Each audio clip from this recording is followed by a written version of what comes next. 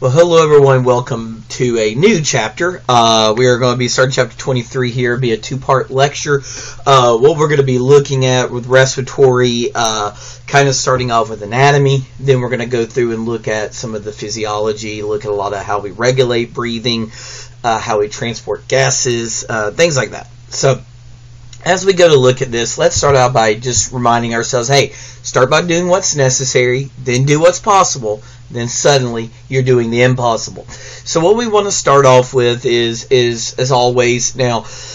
Uh, normally in my classes, uh, this will be true only for the online uh, uh associated to that we can't do on-site tests. But if you're listening to this in a semester that we're not doing social distancing for COVID-19, uh, then disregard this because uh, I'll probably be reusing this lecture for this coming fall.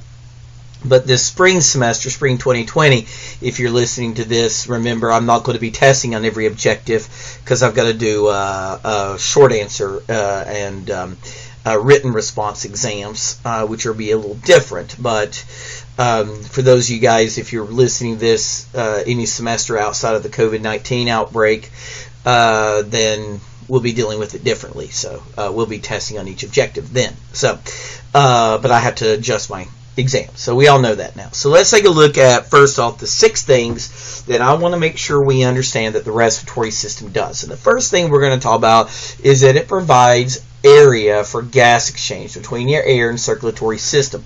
Now let's talk very briefly about that. What's going to happen is in your lungs, uh, you are going to see these little pockets, kind of like balloons, that would be located inside there. And what's going to happen is that your blood vessels will maintain an incredibly close proximity to these. I mean, incredibly close. They actually, we're going to learn they share the same basement membrane. Uh, but these blood vessels here are going to share, uh, uh, be very close to each other. So this way, when the air that you breathe, when air comes in and enters these areas, this oxygen, this air can enter in the blood and gases we need to remove from the blood can go into the lungs. So we have a lot of this. It is a huge amount of surface area. Um, so there is a lot of surface area here involved in trying to uh, provide an area between air and the circulatory system. We also are moving air in and out of the exchange surfaces of the lungs, as you can see there. I did both of those. We also protect respiratory surfaces from dehydration, temperature changes, and infections. We'll talk about how we do that with mucous membranes, um, pseudostratified ciliated columnar epithelium, and things like that. We also produce sounds for speaking, so if we want to groan, uh, when we find out we have to do everything online, or if we're going to uh, talk to each other. And then also uh, olfactory information. When you breathe, you're also getting your CNS some olfactory information, but also the lungs. And this is something that a lot of the lists will not include, but I always add. Now, I always add a sixth thing. And you're like, well, of course, Leopard's always going to add one extra function that nobody else wants to seem to talk about. But I think it's incredibly important that you guys understand that the respiratory system controls the pH. It's one of the important systems to regulate the blood's pH. We are going to talk about that. I hope you guys understand it. But it'll be something big we got to talk about. So as we go through this, and right now, COVID-19 is a big thing that people are talking about. We know that COVID-19 can infect the upper respiratory system and the lower respiratory system. So what do we mean by the upper respiratory system and the lower respiratory system? Well, the upper respiratory system is basically everything above the larynx. And everything below the larynx is your lower respiratory system. So your upper respiratory system is the portion that filters and humidifies the air. That's things like your nose, your nasal cavity, your paranasal sinuses, and your pharynx. So simply put, it's everything above the larynx that's part of your respiratory system. So its job there is to help get the air conducted to the exchange surfaces. It humidifies, it filters. So, for example, if you have a pollen grain in the air that you breathe or a bacterial cell in the air that you breathe or a viral particle like COVID-19 virus that somebody had sneezed and you breathe it in, well, potentially we can filter that out using nose hairs and mucus, things like that, and maybe prevent it from infecting us. Um, or prevent the allergens from getting in. We talk about that a little bit with allergens and things. Uh, we talk about how mucous membranes play a role uh, in, in immunity. Now, the other thing I want to talk about uh, is uh, that uh, this stuff uh, is it's warming and humidifying it, so the air, the lungs don't dry out. The the air doesn't dry out our lungs.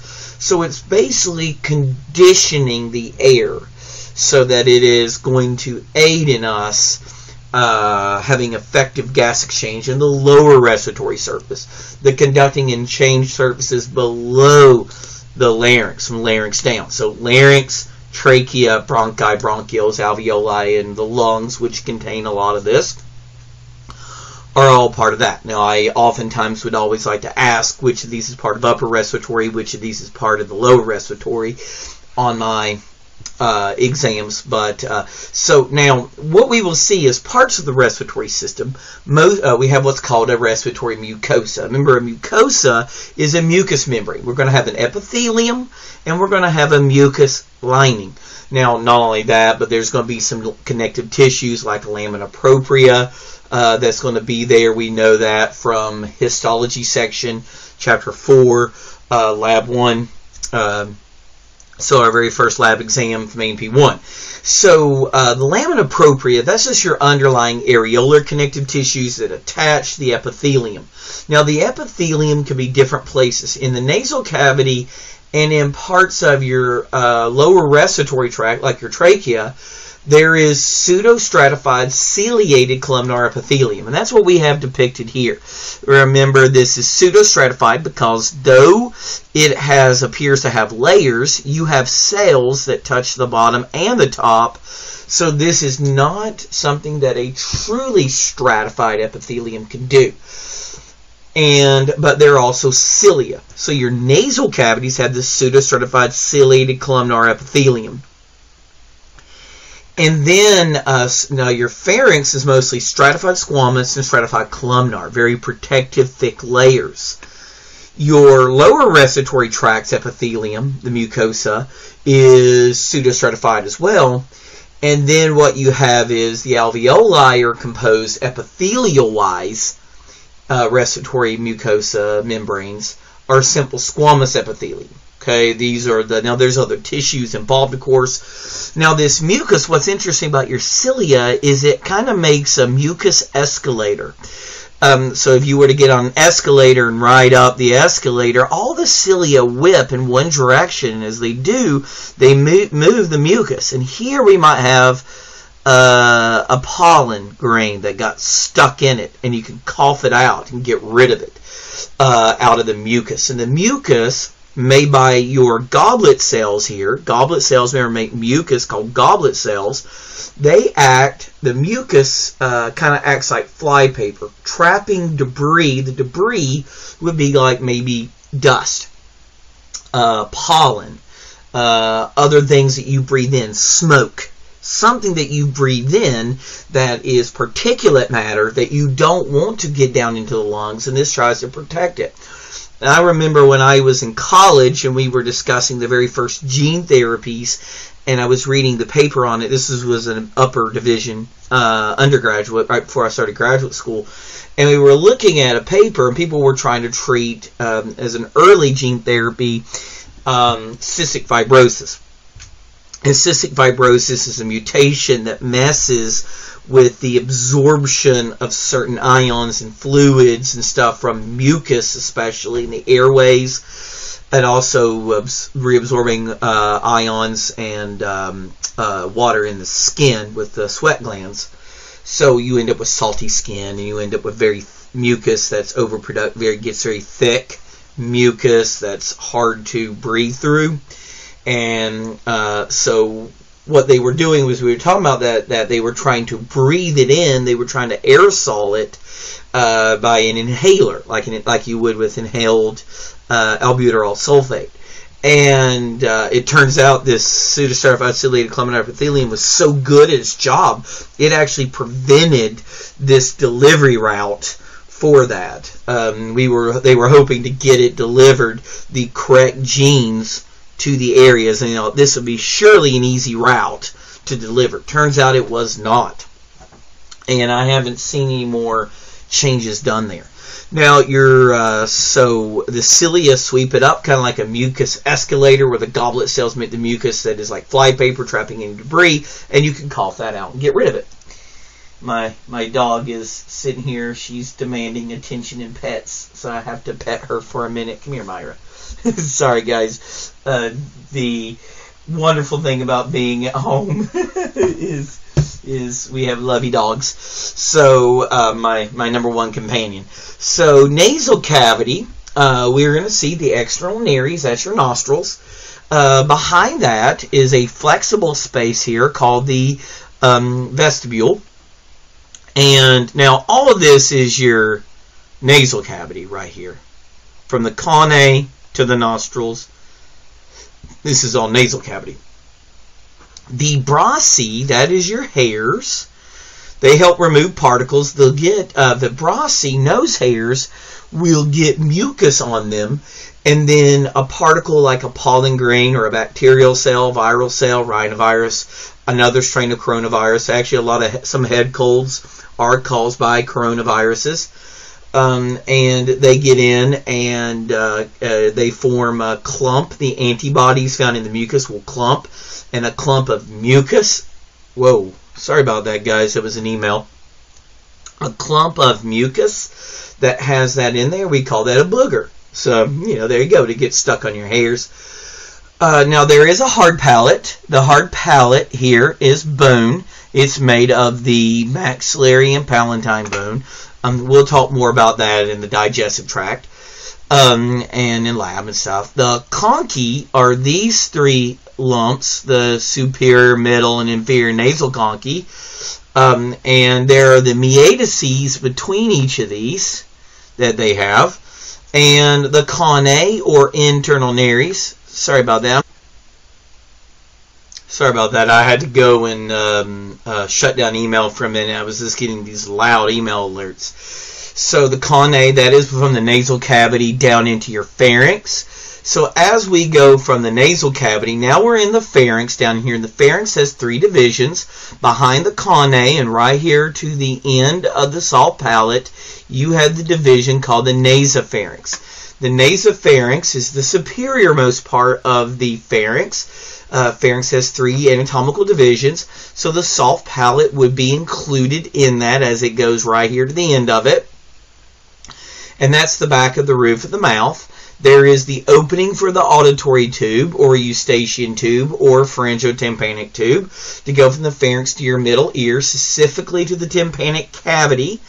And you also will find your pharyngeal tonsil or adenoid back here as well. Now, as we go from here down, from here to the base of the tongue, to the base of the tongue, from the soft palate to base of the tongue is the oropharynx. Oropharynx is the middle section. Associated to that is the hyoid, going up at an angle, the hyoid. It is there for speech, Fauces is the opening to the back of the throat, so the gap that you would see here is your fauces. Uh, now, it is important. I'm going to show you something why it is important that you learn these. Uh, you do need to know this. You guys will be assessing patients. You'll be going in when you get ready to intubate and you have a patient crashing and you guys are they're going to say well patient has an m score da da da so you need to understand uh, these structures like uh, the uh, uvula, the fauces, things like that, the hard palate, soft palate, especially the soft palate, uvula, fauces, looking through the throat, how much of that is visible. If you could see it all, it's a very low uh, score. If it's very uh, a high score, means you don't see much. It's going to be more difficult to intubate, that kind of stuff. And I'll, I'll talk about that very briefly in a minute. The uvula is the hanging down thing in the back of the throat, as I always like to call it. It's a little hanging down thing. This guy here assists in speech. It also is involved in your gag reflex, by the way. That's why I always like to say is that if you touch this, you can taste all the food you've eaten in the last 12 hours. Um, yeah, you can taste everything you've eaten in the last 12 hours if you touch that because you'll vomit. so, okay. And then uh, as we go down, we have our laryngopharynx. And laryngopharynx is very important because this is the junction to go from the esophagus food tube to the trachea, the air tube, the breathing tube. And these two tubes, if they are, they have a junction and it goes in the hyoid down. Now the thing about this is, is you could get aspirate and have food and drink go down the lung. Um, or when somebody intubates, let's say they go in and intubate, if they put it down this way, you're going to inflate the stomach and you're going to see the abdomen rise and fall. That is not going to help. You need to go into here to get to the lungs to fill up with air. And you want to see the chest rising and falling. And this will happen. You will see this in healthcare if you haven't already. Somebody, when they intubate, doing it wrong. All right, so uh, this part goes, and I will ask you guys questions about, like, you know, where's. Always like to ask where these things go. Now, the larynx, we call this your voice box. It begins at C4 to C6. C4 to C6 is where the larynx sits. C4, because the larynx is your voice box, produces your sound. Imagine, so C4 is easy to remember because you might have an explosive voice. I've been told I'm loud, apparently. Some of you guys who have me for class know. Uh, it, it, was joked about that I was so loud that our 94 year old uh, chemistry professor with hearing aids has to come in to from another classroom and tell me to keep it down because they can't his students can't hear him through to, through a wall. So uh, for, for me, I'm through talking through the wall and I'm louder than him, apparently. Now, your C4 to C6 is where the larynx sits. The glottis is the opening, and that's where air from the pharynx goes into the larynx. Um, so it's the gap located between your um, uh, vocal cords, basically.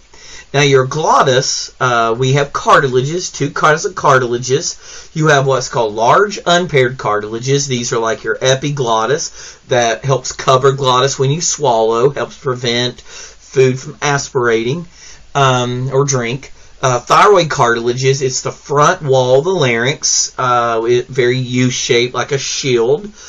And it has a sticking out part, a laryngeal prominence, which we commonly call the Adam's apple. Uh, the cricoid cartilage is the inferior or bottom wall of larynx. Uh, now, there are two small cartilages that open and close the glottis to produce sound.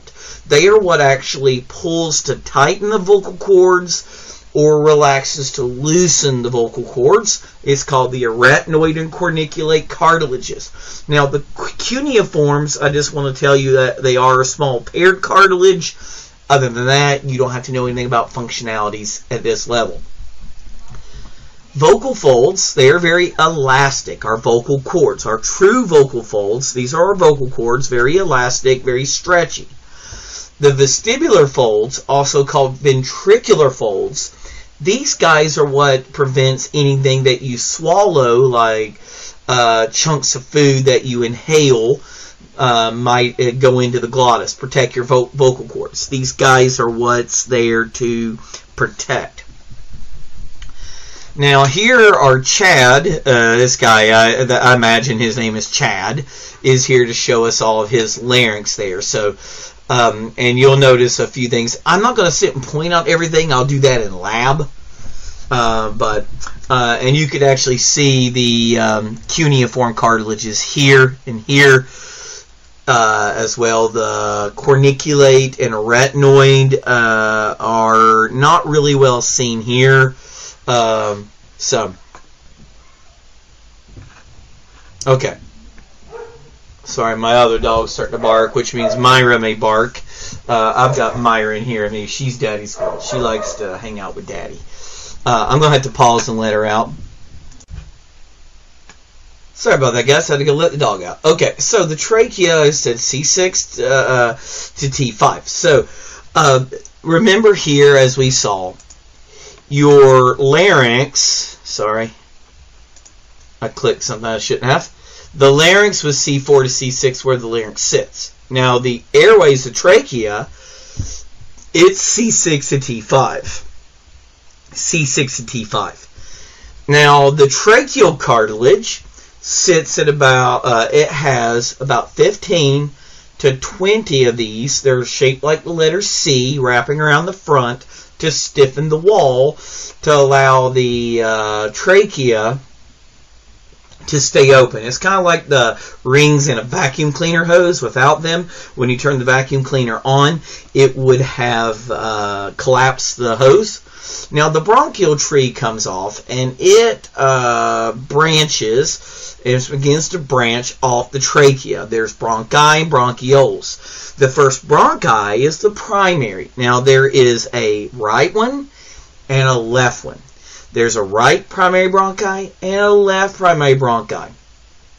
The carina is inside where the right and left bronchi separate. Uh, there's an internal ridge that kind of helps separate those called the carina. Now, after this, you have what's called the secondary bronchi. Secondary bronchi branch off the primary.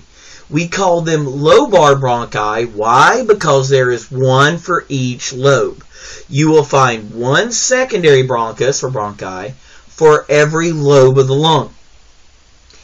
Tertiary bronchi, they branch off. We call them segmental bronchi. Uh, they go on to what's called lung segments, bronchial pulmonary segments. If you guys are looking ever at an image that has, um, I'll kind of show you what I mean by that. Uh, just sometimes I like to share these things when I'm doing my lectures, is uh, bronchial pulmonary segments. And these segments you will see on the models, you notice that all the bronchial pulmonary or segmental bronchi, tertiary bronchi, they are all color coded well, they're color coded to the bronchial pulmonary segments. So here's each one of these segmental bronchi, and here's each segment that goes that correspond. Okay, so anatomically, that's what's going on. That's why they're called segmental. Uh, now, after the tertiary bronchi, you go into the bronchioles. The bronchioles are unique in the fact that they do not have cartilages on them. So they're very sensitive to bronchial spasms. They're very sensitive to uh, uh, inflammation, things like that. Then we're going to go into what's called an alveolar duct. Now, this is something where I add some extra details because I do want to make sure students understand these things as you're going in. You're going to talk about alveolar ducts and things when you guys get into healthcare. Um, is that with the alveoli, if this was the alveoli,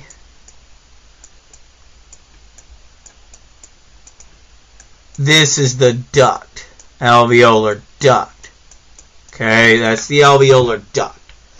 So the duct comes into the alveolar sac itself. Now, a sac is collections of alveoli. So these alveolar ducts go into the alveolar sacs, and then the alveolar sacs, uh, collections of alveoli, and the alveoli is where gas exchanges. Okay.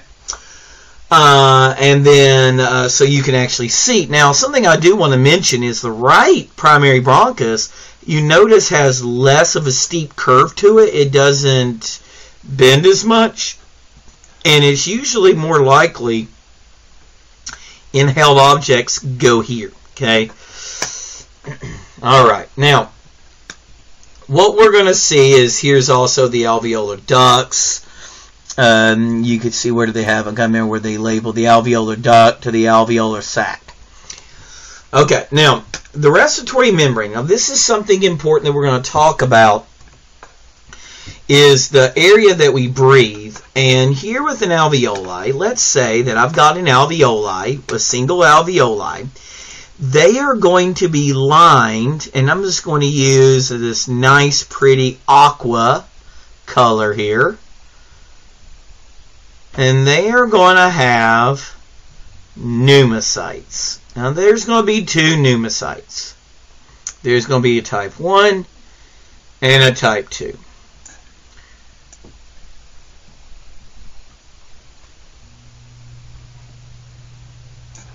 Now I'm going to have the type 1 pneumocyte here. And the type 1, that's the thin membrane for gas exchange. That'll be your type 1 pneumocyte. I'm going to come in with this pretty uh, lime green here.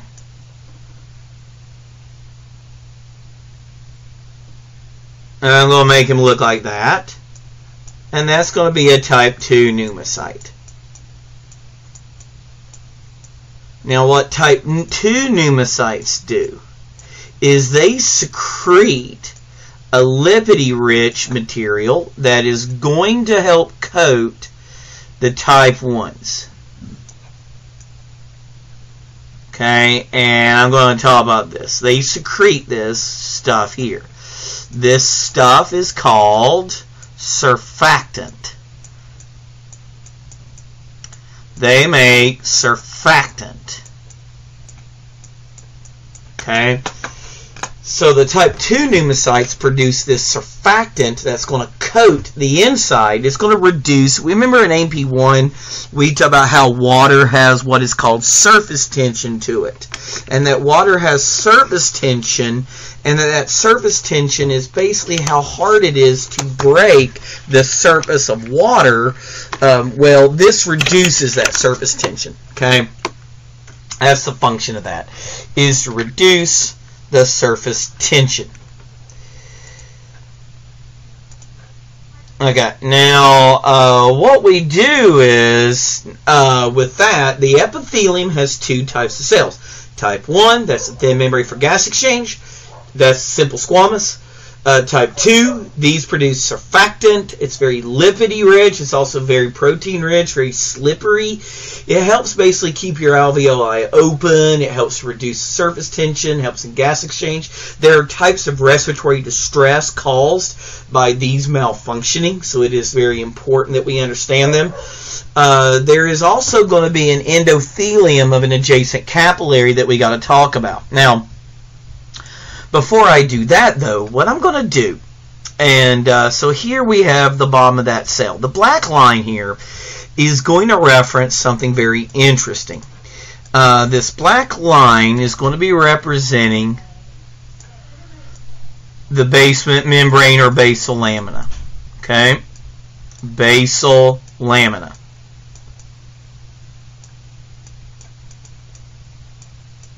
And this basal lamina that it's going to have here is going to actually be shared with the endothelium of the capillary bed. Now, I was mentioning that the endothelium of the capillary beds are very close proximity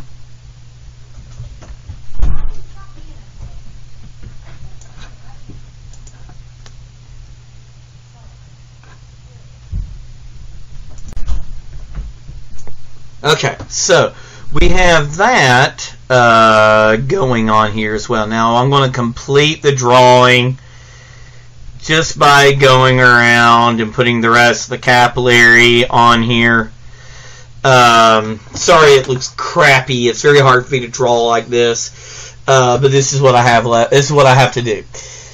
Um, so there is a uh, a shared endothelium. Okay, the endothelium here is shared uh, or with the basal lamina uh, that shares it with the type 1 pneumocytes. The type 1 pneumocytes, the simple squamous uh, for the alveoli, shares a membrane, shares a basal lamina with the endothelium of the capillary that surrounds each alveolus. Okay, so uh, now that we understand the respiratory membrane and its basic structures, uh, here you can see it. Here uh, you have your uh, your type 2 pneumocyte, your type 1 pneumocytes, uh, capillaries uh, are here in close, close proximity. I'm sorry if you can hear the dogs barking. Um, this is the annoying thing about having to do this at home. They cannot be quiet. Um, you have the endothelium of the capillary. You have a fused basement membrane and the endothelium here, and that surfactant, remember, covers it, okay? And this is what I was basically doing, is if you take this and zoom in on it, that's what you're seeing there, okay? And I hope that makes sense, what I was drawing for the basement membrane. Okay, now the lungs, the lungs are surrounded by a pleura. Um, and I apologize if you can hear our dogs barking, they're crazy. Uh, normally, what happens is when I'm at home, uh, they're gonna people right now. There's uh, all the kids in the neighborhood are home, all the teenagers, and they're just walking up and down and running around in the neighborhood because they're bored. so the uh, so it's kind of difficult right now. But what I'm going to do is I want to draw a very quick sketch of a lung very quick and simple lung sketch. And we're going to talk about the pleura here. And I'm just going to do this one here. Now, this is going to be a challenge. Uh, let me pick green. Remember the pleura is a serous membrane. Given that, it is double-lined, sealed membrane. Okay? Now I'm trying to make it as close as possible to that. Okay. Now I'm going to switch to purple.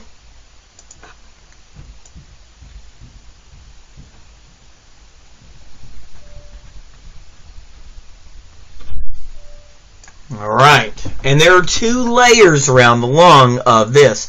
Now the outermost layer is the parietal layer pa pa pa pa pa ra ra I I I uh uh uh uh toll parietal pa pa ra I I uh t t toll parietal parietal. So you got to do it like Bad Romance, and you guys will be able to spell it very easily. Then, so you're like only Lefford would do that. And then our visceral layer, and our visceral layer uh, and parietal layer of those two. Okay, there is a visceral layer and a parietal layer of that. The pleural cavities are the space the lung sits, the cavities surrounding the lungs. The lungs are fitting in the pleural cavities. Now, there is a hilum, that is the space where all the blood vessels, pulmonary arteries, pulmonary veins, the bronchi, uh, and the uh, um, pulmonary nerves come in. Uh, now, there are two lungs, a right lung and a left lung. Now, the right lung has three lobes. Since it has three lobes, it has three secondary bronchi. The left lung has two lobes, and that means it has only two secondary bronchi. Now, the left lung is smaller because the heart's position. Now, the right lung has two fissures separating the two lobes. The oblique fissure separates the inferior lobe from the other two. The horizontal separates the superior lobe from the middle lobe. Now, the left lung also has a cardiac notch, allowing for the position of the heart, and this should not have been boldened here, but somebody unbold that and hit enter and say that real quick. Uh, so the left lung has a cardiac notch. Uh, the there are two lobes, and there's only a lo- oblique fissure separating the superior and inferior lobe of the lung. Now, I do need to kind of add maybe a little bit more details about the lobes, uh, just a little bit. I do that more in the lab in anatomy, but all right. So, guys, um, that really concludes it for the anatomy portion. Now, as you'll see, this is a about a 45 slide lecture. So what I'm going to kind of do is be focusing on the physiology in the next lecture. So I'm actually going to stop here and do part two. Uh, but now that we're into the out of the anatomy part, I felt like that's a great place to stop. Then we'll pick up with the physiology part in part two. So guys, thank you for watching, and I hope you found this helpful. Please feel free to email me if you have questions.